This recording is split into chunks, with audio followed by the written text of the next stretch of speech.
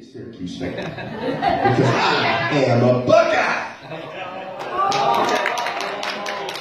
I am glad there is one Christian here today. That is good. For you, darling. All right. But I'm from Zanesville, Ohio, and when folks ask me where I'm from, I tell them Zanesville. And the funniest thing is, those folks that don't really know much about my town, if they know anything, they know the bad stuff.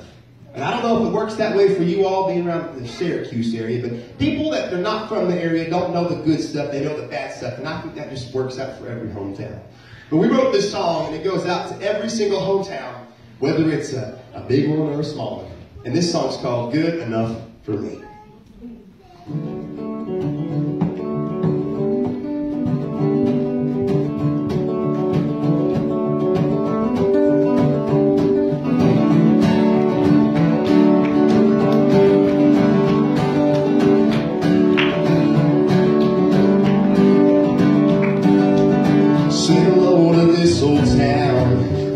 My childhood stomping grounds where my last name means more than just a ring. My plot is set in stone. Not where the whirlwind blows, but where I hear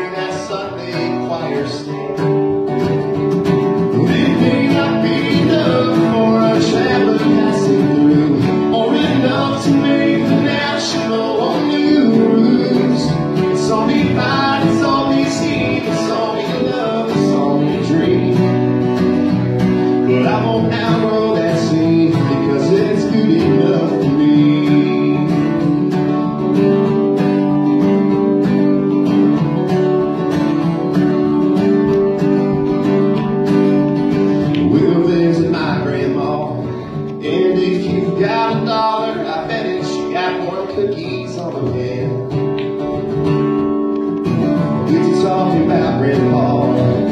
silly quirks and all the things she sees me do, just like him, Now it may not be enough for a traveler passing through, or enough to make the national news. So me